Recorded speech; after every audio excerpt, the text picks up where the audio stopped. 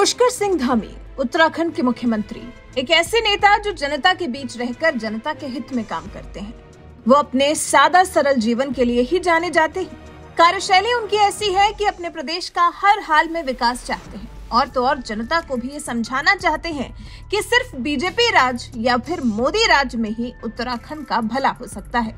तभी तो double engine सरकार को सीएम धामी ने काफ़ी गंभीरता से लिया है। मोदी सरकार की सभी योजनाओं को एक अच्छे स्तर पर सीएम धामी ने लागू करने का प्रयास किया है।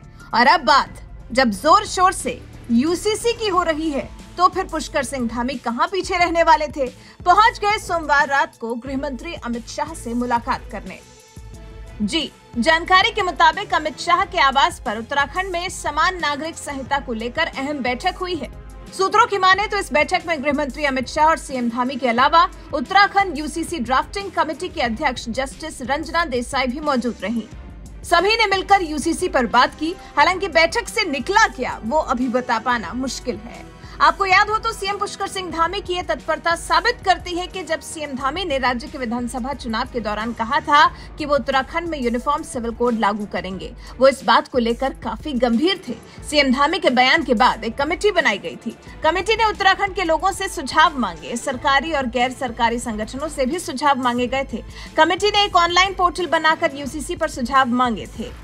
रिटायर्ड जज रंजना प्रसाद देसाई को इस कमेटी का अध्यक्ष बनाया गया था। यूसीसी का मसौदा तैयार करने के लिए सरकार ने एक एक्सपर्ट कमेटी भी बनाई थी, जिसके माध्यम से कमेटी को करीब 20 लाख सुझाव मिले थे। हालाँकि राज्य के पूर्व सीएम हरीश रावत को सीएम धामी की यूसीसी को लेकर यह तत्परता रास नहीं आई थी। पूर्व सीएम हरीश रावत ने कहा था यूसीसी को नैतिकता के आधार पर लाया जाना चाहिए और इस पर बड़े पैमाने पर चिंतन होना चाहिए था। हरीश रावत ने यह भी कहा था कि सभी धर्मों की अपनी अलग समस्याएँ हैं। इसी के साथ ज़मीन और फैमिली को लेकर अलग अलग कानून हैं। रावत ने दावा किया था कि कई मंदिरों में दलित और महिलाओं का जाना मना है। यूसीसी में इस पर भी विचार किया जाना चाहिए। पूर्व सीएम रावत ने आरोप लगाया था कि बीजेपी सिर्फ़ मुस्लिम एजेंडे के तहत यूसीसी को लाना चाहती है। अब विपक्ष चाहे कुछ भी कहे, मोदी सरकार ने यूसीसी को लागू करना तय कर लिया है, क्योंकि यूनिफॉर्म सिविल कोड का सीधा अर्थ, एक देश, एक कानून है। देश में भी शादी, तलाक, गोद लेने के नियम, उत्तराधिकारी संपत्तियों से जुड़े मामलों के लिए भी सभी धर्मों में अलग अलग कानून है। समान नागरिक संहिता आती है तो फिर सभी धर्मों के लिए एक ही कानून होगा, फिर चाहे वो किसी भी धर्म या जाति का ही क्यों ना हो। फिर सूत्रों का यह भी कहना है कि जो ड्राफ्ट बनाकर तैयार किया गया था, इस ड्राफ्ट में शादी से लेकर तलाक और बच्चा गोद लेने से लेकर और लिव इन तक के मुद्दों को शामिल किया गया है। सूत्रों का तो ये भी कहना है कि इस ड्राफ्ट के अनुसार शादी का रजिस्ट्रेशन अनिवार्य होगा, हलाला और इद्दत पर रोक लगेगी और लिव इन रिलेशनशिप का ब्यौरा ज़रूरी होगा। इस ड्राफ्ट में जनसंख्या नियंत्रण को लेकर भी बातें शामिल की गई हैं। दरअसल उत्तराखंड में अब लिव इन में रहने के लिए डिक्लेरेशन देना ज़रूरी होता है। इसकी जानकारी माता पिता को भी दी जाएगी। इसके अलावा शादी के लिए लड़कियों की उम्र सीमा बढ़ाई जाएगी। शादी का हर हाल में रजिस्ट्रेशन ज़रूर किया जाएगा। अगर कपल ने रजिस्ट्रेशन नहीं कराया है तो इसे सरकारी योजनाओं का लाभ नहीं मिल पाएगा।